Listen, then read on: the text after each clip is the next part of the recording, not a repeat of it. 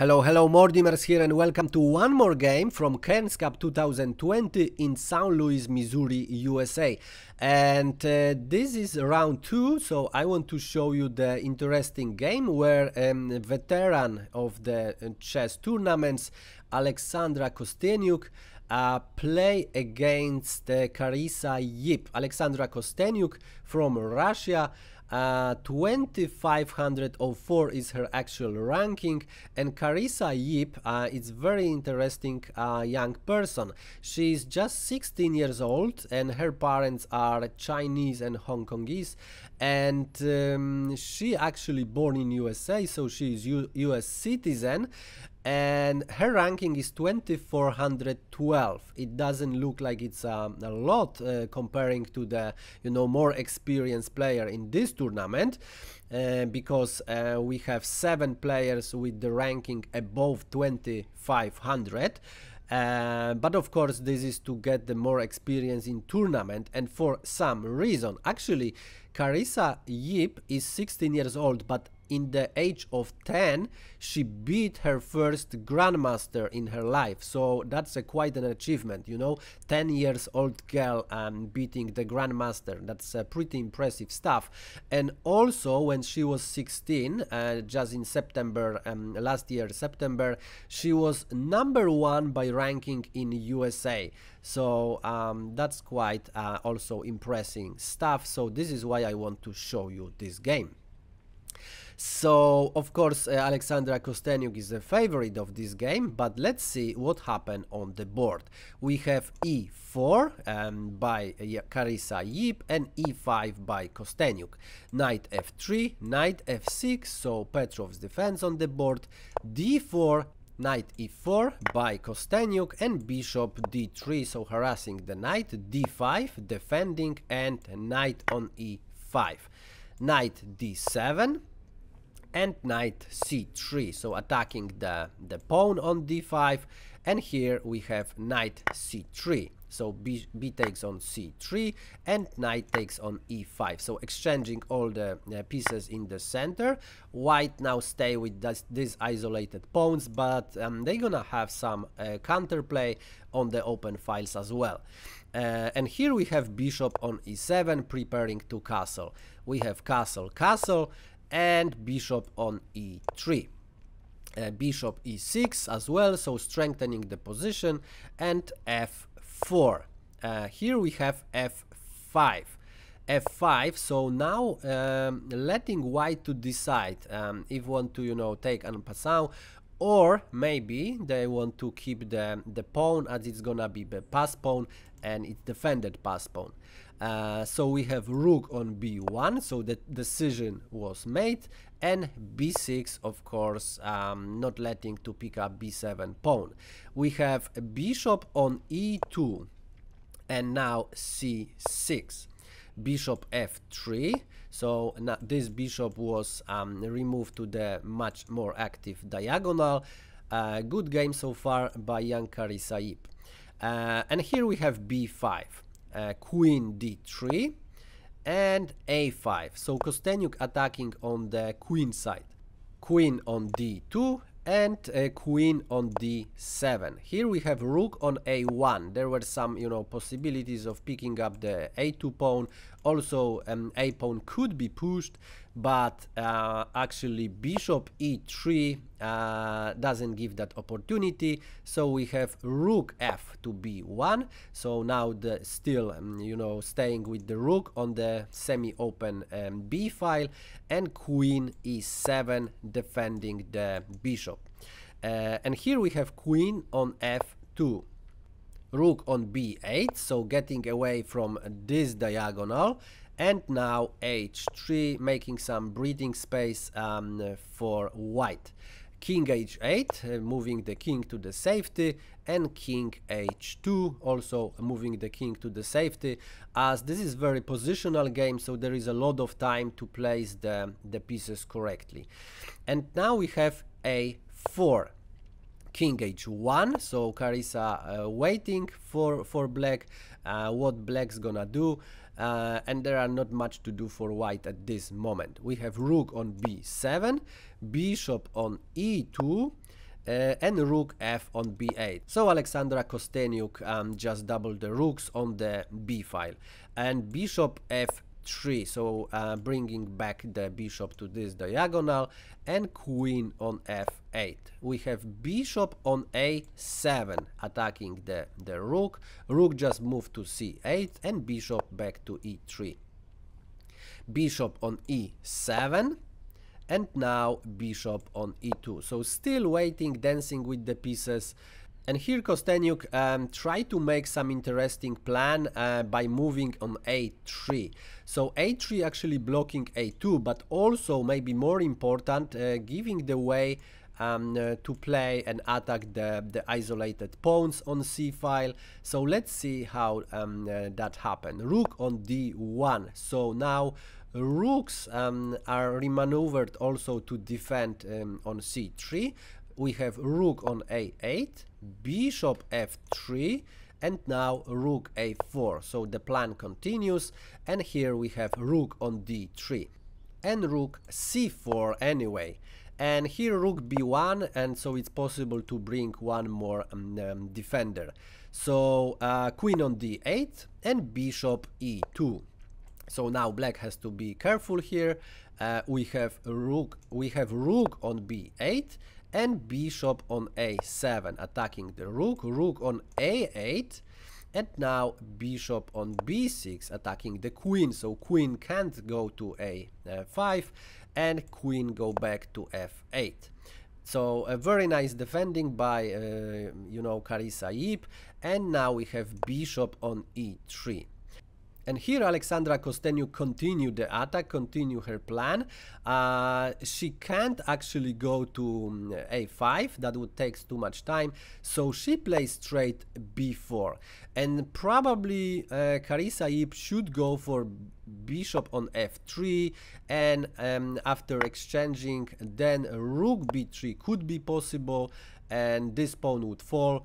Uh, even if it's defended then bishop d4 and actually after c5 and exchanging the pieces uh, we would have um, the very simple situation where black has to do something with this pawn. This pawn are um, hanging a bit so d4 rook d3 and of course um, this bishop attacks um, the rook so uh, rook a7 and now also um, a2 is under attack so c3 challenging the center and defending um, a2 so the game would continue probably uh, with uh, some drawing chances for uh, Carissa Yip or maybe she even could do some you know um, um, progress with this um, pawn. Uh, however, uh, we had c takes on b4 and now rook c2 so alexandra kosteniuk get in let's say and attacking now um, a2 pawn which is uh, very dangerous. So we have rook on d2 rook takes on d2 bishop d2 and now d4 opening the diagonal to attack on a2 so we have uh, bishop on f3 attacking counter-attacking on c6 we have bishop on a2 anyway and rook a1 first as rook was under attack. Uh, so here we have queen on f7 uh, better continuation would be bishop on e6 and then after bishop on c6 rook c8 uh, queen f3 we could have bishop on b4 and after exchanging the pieces um, the position would be uh, much better for Alexandra Kosteniuk with these two passed pawn and blocked um, uh, white passed pawn uh, black could probably uh, you know uh, win easily. However uh, she played queen f7 and that actually gave chance to to Carissa Yip to equalize the game. So we have bishop on c6, rook c8, bishop a4, d3, and now we have bishop on e1 so attacking the the bishop on a2 so bishop has to move so moving to d5 and also preparing to you know stabilize the position in the center and defending the pass pawn we have rook on a3 this um, pawn of course can't be defended. And bishop e4 as planned uh, and now we have bishop on d2 so everything is okay with this position. And Carissa Yip could just continue um, uh, playing her game. Uh, so we have queen on g6 this is very very sneaky move by uh, but Alexandria Kosteniuk and it seems like uh, young Carissa didn't see the intention of this move. Uh, so she played bishop on b5 the most important move in this position would be king on h2 and it's a very important move and um, and I will show you why in the moment. So uh, king h2 and for example rook a8 and uh, rook e2 and with the idea of exchanging the rooks that could be playable for Carissa Yip. However, she didn't play the king h2, she played bishop on b5 and it looks pretty strong as this pawn uh, is under attack twice not easy to defend. Of course queen uh, can't come because of checkmate so have to be very careful here. But now feel free to pause the video and find the winning move for Alexandra Kosteniuk as this is very nice um, tactic so if you like puzzles um, you know women chess are the best source of the the puzzles. While I enjoy my cup of tea.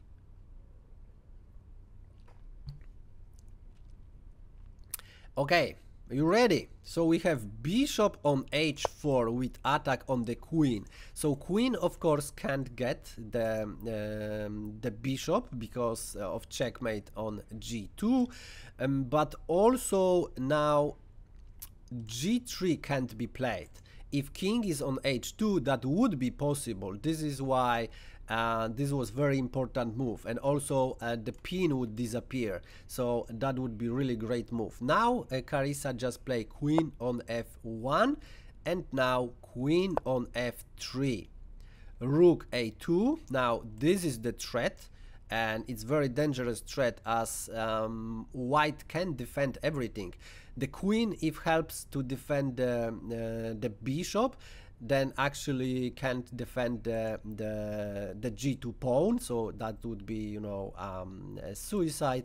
So we have rook on a2 but now queen h3 with check king g1 queen go back to g3 and now we have e6 now the plan for black would be for example uh, moving um, the bishop and attacking from that side and that would be of course deadly. Uh, Carissa just play a6 um, which doesn't change much. We have uh, bishop on f6 so uh, now bishop don't need to move um, around can can make a shorter um, shorter move. And here we have bishop on e1 attacking the queen. Bishop d4 check the first bishop f2 and in this position uh, many moves wins for example rook on c1 but absolutely the best move uh, was played by um, Alexandria Kosteniuk and bishop takes on g2 and in this position white resigns and white resigns because there is nothing to do. If for example bishop takes on d4 then we would just have bishop on f1 of course and um, and checkmate as the pawn uh, controlling e2 so uh, that's one of the continuation. If queen takes on d3 which uh, looks slightly better rook c1 it's still on the table. So queen f1 and bishop on f3 checkmate. So um, that's another possibility. And uh, if in this position for example queen on g2 then again rook c1 uh, you know mating. So this way or another the queen gonna be uh, pinned and can't help in defending. So this is why in this position Carissa Yip resigned the game. Uh, so a very great defense by Carissa Yip and missing just one tactic um, led to the to the loose uh, position. And uh, congratulations to Ex- Alexandra Kosteniuk uh, for finding this beautiful plan. And um, and yeah thanks for watching. And if you like this video press like. If you don't like this video for some reason press unlike. And uh, i'm gonna cover more games of the Cairns Cup 2020 so click subscribe if you don't want to miss any of them. And thanks for watching and see you in the next one